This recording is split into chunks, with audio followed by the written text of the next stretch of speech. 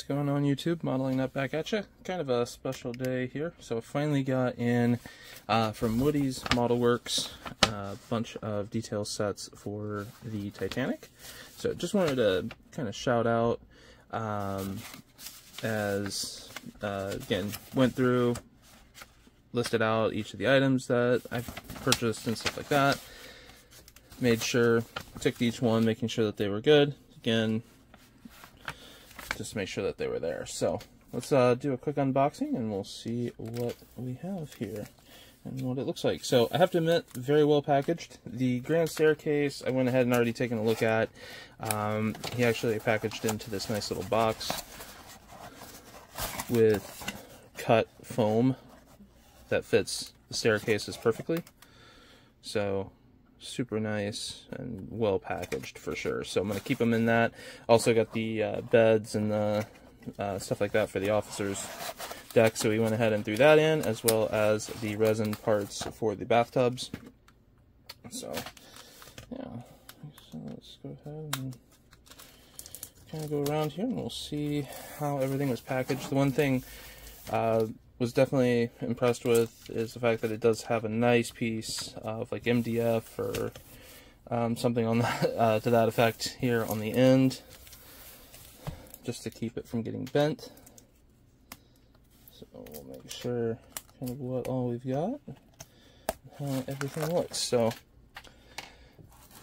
all right, so kind of got to be extra careful here. This top is actually its own sealed item which is the underhull plating. So if you've looked at the 1 200 scale Titanic uh, from Trumpeter, you'll notice that it does not have any uh, lower hull detailing. So we'll kind of go through this package in a moment. Carefully trying to do this without slicing either me or that. So I'll be careful not to get let that get done. But lay that off to the side.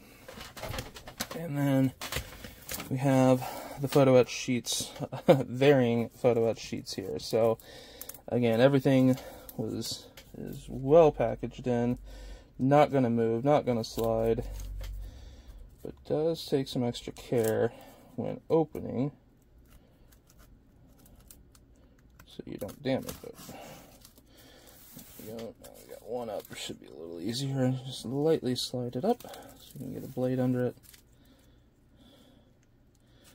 once I'm actually done filming this and looking them over, these are going straight into my box with my ship, just to prevent them from getting damaged any further, probably packaging them into one of the sub boxes. Again, if you have the kit or if you've seen an unboxing, you'll know what I'm talking about, as there's a lot of boxes in that big box that you get. Alright, there we go. I think that's all of them, so let's go ahead and pull off this top sheet. Put this over. The only problem with how it was packaged is the tape is super strong, but to open it and to get it out is a bit of a pickle without bending the actual photo etch, which is obviously a concern.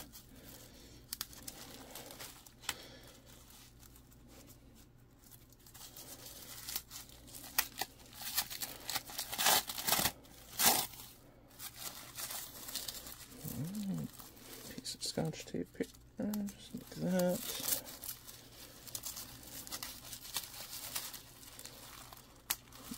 This. It's kind of nicking the side, so I can do that plastic tape.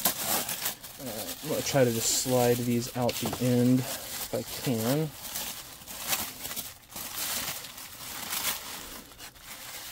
So sheet one here that I happen to get is sheet E. And this is really heavy duty gauge brass, which is nice. It's not super skinny, it's not super tiny. So we've got gymnasium walls here, uh, the veranda and palm court, Cafe Parisien, and then also private promenades, the D-deck entry doors, which is kind of sad unless you open up the side hull. You wouldn't actually see those. I guess you could see them through some of the lights or some of the uh, holes in the windows and stuff like that, but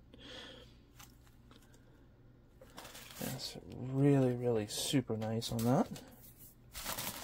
Alright, moving on to the next fret here. I think that's how I'm going to do this. I'm just going to come in from the end, tear it open, and then slide it out. So this one is going to be sheet F. And again, you can check out their uh, YouTube page if you want to see kind of how it looks built up.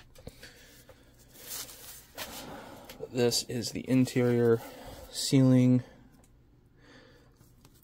interior parts here, so little warpage, but again, that's to be expected with brass when when it's uh, photo etched like this. Love the railings here for the main staircase. Please excuse the puppy. Barking at somebody out the door. Or out the window, I should say. Fireplaces. First class lounge up here at the top. Alright, next part here.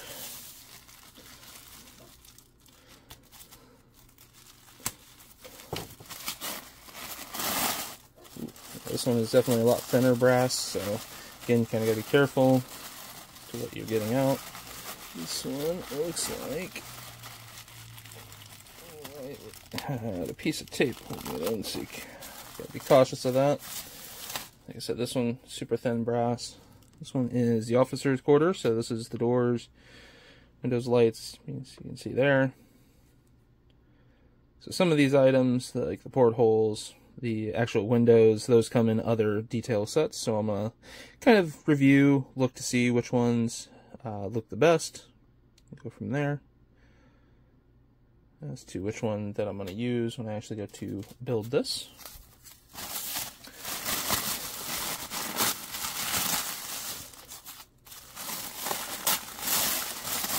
Again, back to the heavy brass sheets here.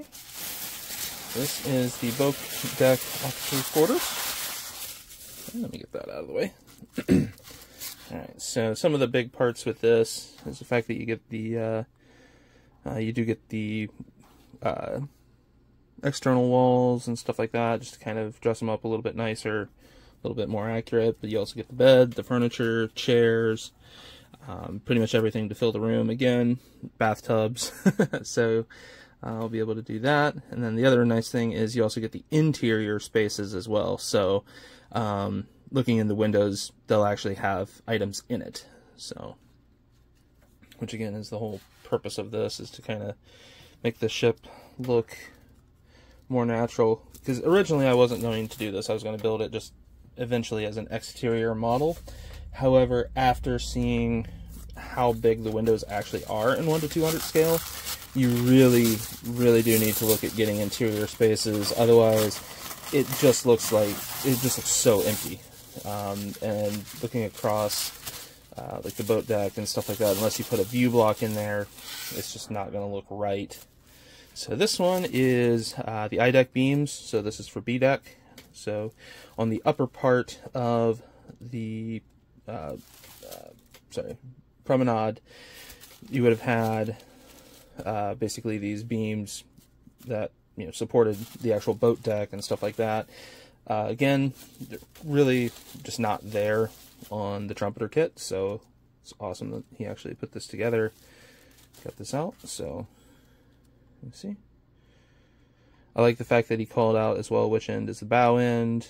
So, you know, again, trying to prevent people from accidentally doing anything backwards.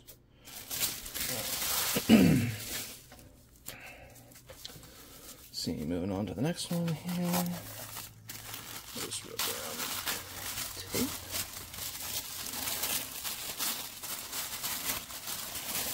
There we go. So this is going to be additional detail for the forward deck. Uh, forward detail set. So this is uh, for the front of B deck, the interior uh, walls, which would have had you know, the, the, bolt details and things like that, um, as well as uh, the upper part here, which is going all the way into A deck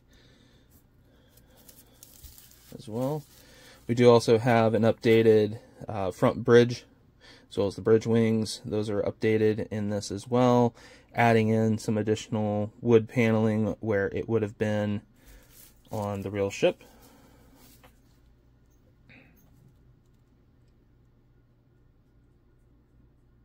And again, super nice. You have the actual steps for the bridge wings,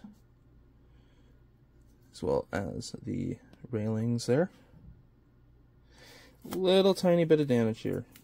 We'll call that out. Little tiny bit of damage that happened in transit, but I don't think either in transit or in packaging. So this is why you just got to be careful. Keep an eye on things, where everything is. So carefully try to straighten this piece out. Just get it back flush.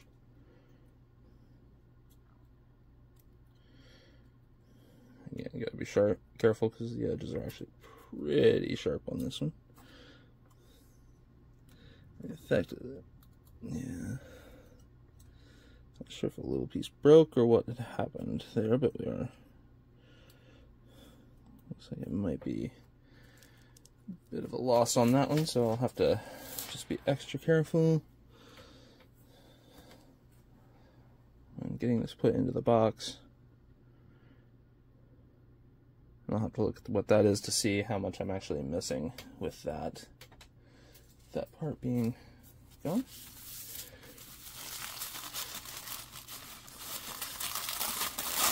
Again, no fault on the manufacturer whatsoever, I don't think. It's just things happen in shipping, things happen in packaging, you know, that's outside of his control. So, again, this is just the first time I'm seeing the, uh, the sheets, so call it out as I'm going.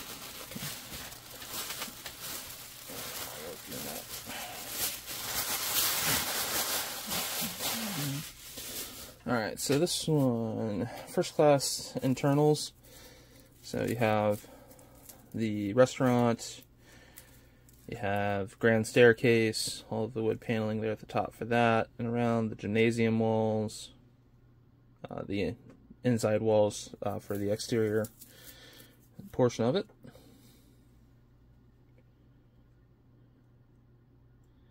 Looks like from these here, these are going to be uh, that part that was damaged was handrails. So I'm pretty confident that I'm going to have that in another set somewhere, so should be fine there.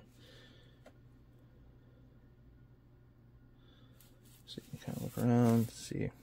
Again, these aren't tiny sheets. I mean, these are massive massive sheets of brass. Sorry, I had to stop my video again just to reset the timer. So, um, yeah, what I was saying was, um, you know, again, it looks like a lot, and it is a lot of money, but at the same time, what you're getting is really awesome. So, uh, again, superstructure and bridge plating. So this is going to be the actual plating. They overlap lightly. Um, again, the instructions that he has uh, on the website will actually show kind of how that is. I'll probably go ahead and try to get a copy of that downloaded or something so I don't lose it if uh, his site ever should go down. But we have the whole plating there. And now getting into a couple of larger sheets here. Again, these are to replace out some of the parts. So this is the main superstructure one of the big changes in the superstructure is they actually had the lines that went down. Uh, you can catch it there more here in the dark areas. Um, they had a line that went down the entire length of the ship. Uh, most of the time it was on the inside, but then once it opened into the open air, it became visible. That was not modeled on the original uh, trumpeter kit, so it's nice that he has that. So yeah.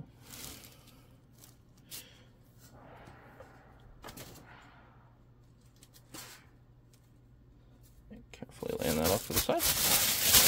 Alright, and to the last couple here. Yeah, the next one's going to be a fun one, I think. Alright, so this one is one more bit of the uh, A-deck beams. So again, like we talked about with B-deck, we have here with the uh, I-beams for A-deck. Again, just to add that extra little bit of detail on the upper surfaces of the promenade. And I think I might have mentioned that, or I might have said in the last part, or when I was talking about B deck, that it would hold up the boat deck. Correction, that would hold up a deck. This was what was holding up uh, the boat deck. So, just any rivet counters before you get to typing on the keyboard there. The keyboard warriors. So, alright, there's that. And the last one. This one is all of the internal seating. So this is the chairs for Cafe beyond This is the restaurant, gymnasium, all of the chairs, ta chairs, tables, and other accoutrements that would have fit the space. Get that down and in the trash. We can kind of look through this one. So this one, again, you got the aft grand staircase, reading and writing room, first class lounge, the veranda and palm courts down here. You have the second class smoking room, uh, private promenades, as well as uh, Cafe Parisien, and then the a la carte restaurant. And then up here at the top, you have the gymnasium. So you have the things for different items like the mechanical bull, rowing machines, all of that. So again, take a little while to get everything put in, um, and especially if you'd want to try to coat them into some sort of um, either printed material or something that would show the actual kind of, like a better phrase, the actual uh, fabric. Um, that's what I was trying to say there. Uh, would definitely take some time, or just kind of get the general colors that would also probably suffice, again, given that it's an internal space. But yeah, so that is the uh, kind of the review of the items that I've purchased from Woody's Model Works. Um, again, they have multiple other items that I've not purchased. Actually, one last item here. Um, I'll reset and show the last item, which is uh, the underhull detail. Don't want to miss that out. But so let me go ahead and actually do that real quick, and I will be right back with you. Alright, so taking a look here, get this packaged opened up. Take a look at those underhull platings.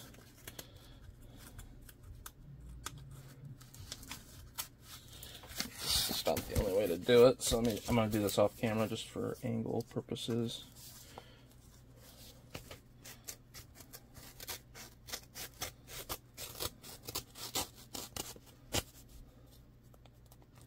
And trying to make sure I don't actually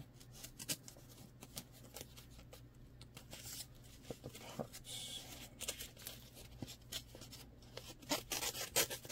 Alright, there we so got the envelope opened up here, so let's go ahead slide these out. And I believe these are actual styrene sheets, which